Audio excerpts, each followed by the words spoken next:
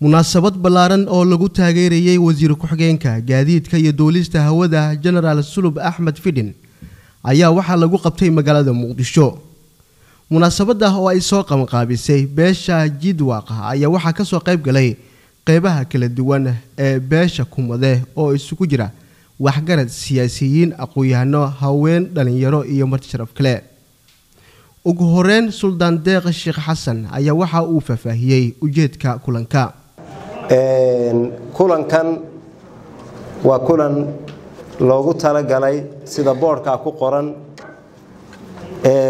In lagu soo dhoweeyo dowladdeennan cusub oo ugu horreeya madaxweynaha dowladda federaalka ee soomaaliya mudane xasan sheekh maxamuud iyo ra'iisul wasaarihiisa si gaara waxaa loo caqiday fadhigan in lagu soo dhoweeyo looguna hambaliyeeyo wasiir ku-xigeenka wasaaradda duurista iyo hawada jenaraal axmed jenaraal sulub axmed fidhin oo jagadaa loo dhiibay beelweyntiisii soomaaliyeed iyo bahdiisiina maanta halkan ay fadhido oo ay ku soo dhoweynayso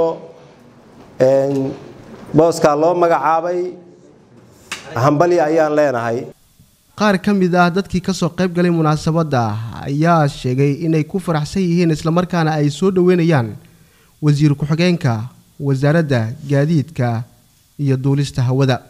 Xukuumadda cusub ee uu soo magacaabay ra'iisul wasaaraha jamhuuriyadda federaalk soomaaliya mudane xamse cabdibarre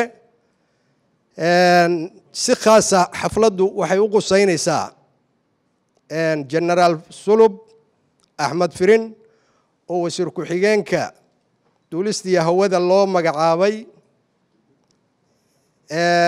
sulub waxaan leenahay soo dhowow ilaahay ha kula garab.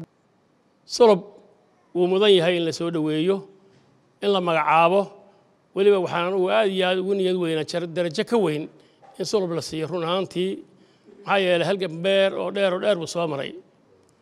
Waan soo dhoweynaynaa sulub. Waana u hambalyaynaynaa insha allahu tacaala waxaan ku rajaynaynaa inuu shaqadiisa si mas'uuliyad ah ee awal buu mas'uuliyad buu hayn jiray tu ka sii weyn baa loo dhiibay inuu si fiican u gudan doono oo uu la shaqayn doono wasiirka uu ku xigo ee uu la shaqeeyo inuu aad iyo aad shaqadiisa u gudan doono isla markaana uu danayn doono beesha uu ka soo jeedo hadba xilka uu u hayo wixii kaga aadan ee waxtar ah. Nin deegaan waa ninka anigu meeshaan ka soo jeedo ka soo jeedaa waxaan leeyahay sulubow soo dhowow. Deegaankaada iyo dadkaadana wax u qabo. Ka feker deegaankaada iyo dadkaada. Sulubna intaasaan leeyahay. Dowladduna way mahadsan tahay. Ra'iisul wasaarena waxaan leenahay aad iyo aad baad u mahadsan tahay. Aniga asiga waxaan iskula soo jabnay hal meel. Marka anigoo oo qalbo jaban baan deegaankii ka soo tagnay. Hadda inuu macnaha loo abaalgudo aad baan ugu faraxsanahay wasiir ku-xigeenka wasaaradda gaadiidka cirka iyo dhulka genaraal sulub. Inta badan dhallinyarada markii la joogo magaaladan waxa ay ka yihiin ama soomaaliya boqolkiiba toddobaatan ay ka yihiin. Haddana sidaasay tahay fursado aada u weyn kama helaan dhanka marka loo fiiriyo xukuumadaha. Waxaan rajaynayaa hadduu ilaahay idmo insha allah in ay dowladdan fursad badan ay siin doonto dhallinyarada. Waxaan si gaar ah ugu mahadcelinayaa wasiirka wasiir xamse ra'isul wasaare xamse ra'isul wasaaraha waxaan ugu mahadcelinayaa fursadda uu siiyey dhallinyarada qaar. Waxaan rajaynayaa wasaaraha inuu ku sii dadaalo inuu fursad badan sii siiyo dhallinyarada sababtoo ah waxay hayaan energy waxaa waxay hayaan waqti. Wasiirnimada adi uguma horreysid rag badan oo kaa horreeyey baa jiray laakiin haldoorkii baarqabka ahaa ee xashiisii ilaahay cadaaladda waafajiyey oo gacanta ilaahay u geliyey baa tahay jidwaaqna waa tahay. Hasha sumadeedu ay tahay jidwaaq ayaad maanta ku fadhido lagugu soo dhowaynayaa soo dhowow baan ku leeyahay sulubow gacmo furan ku soo dhowow gacmo furan ku soo dhowow beelweyntaha jidwaaq baad ka dhalatay. Kuuma cusbo mansabka jidwaaq absame ee kuumada inaad u qabatid. Waa nin bisil waa nin soomaali ah. Waa nin kuumado ah. Waa nin absamo ah. Waa nin jidwaaqa halkaa dhaafi mahayo waxaanu ku ognahay karti dadnimo hufnaan calool adayg geesinimo intaba waanu ku ognahay. Haddaan in yar ku daro markii balaayadu neeryanaysa dadkii noogu roonaa buu ahaa annaguna waa ugu jecella siyaasiyiinta kumade mana qarinayno mana qarin doonno. Waxaanu leenahay xilli adag baan soo marnay nin walba wuxuu noo galay waanu garanaynaa. Sulub meel gaaruhu noogu xusan yahay. Gabagabadii munaasabadda ayaa waxaa soo xiray ugaaska beesha jidwaaq ugaas cabdulaahi ugaas axmed. Waxaan soo dhowaynayaa dadka ummadda soomaaliyeed oo maanta meesha iskugu imaatay.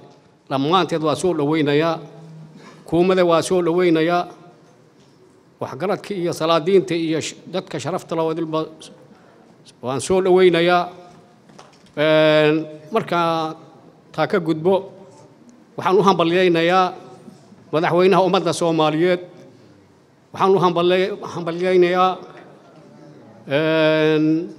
ra'iisul wasaaraha. Waxaan u hambalyaynayaa jenaraal sulub baan u hambalyaynayaa kuwii waajibkooda iyo sharaftooda iyo karaamadooda gutaan allah ka dhigo. Intaas waxaa dheer magaca ilaahay baan ugu ducaynayaa. Dowladda dowlad sharaf loo karaamo leho waxgarad inuu alla ka dhigo. Dowladda waan u ducaynayaa. Zakariya axmed muuse t v gashabelle muqdisho. Shirkadda hormuud telecom waxay macaamiisheeda u samaysay qiimiyo dhimis ballaaran xirmooyinka internetka iyo kaarka ku hadalka ee adeega anfac balaas xirmada cusub ee labaatan iyo shanta senti waxaa laga dhigay afar boqol oo m b iyo toban daqiiqo oo ku hadalka gudaha ah halka xirmada bointy five kana laga dhigay siddeed boqol iyo konton m b iyo soddon daqiiqo oo ku hadalka gudaha ah.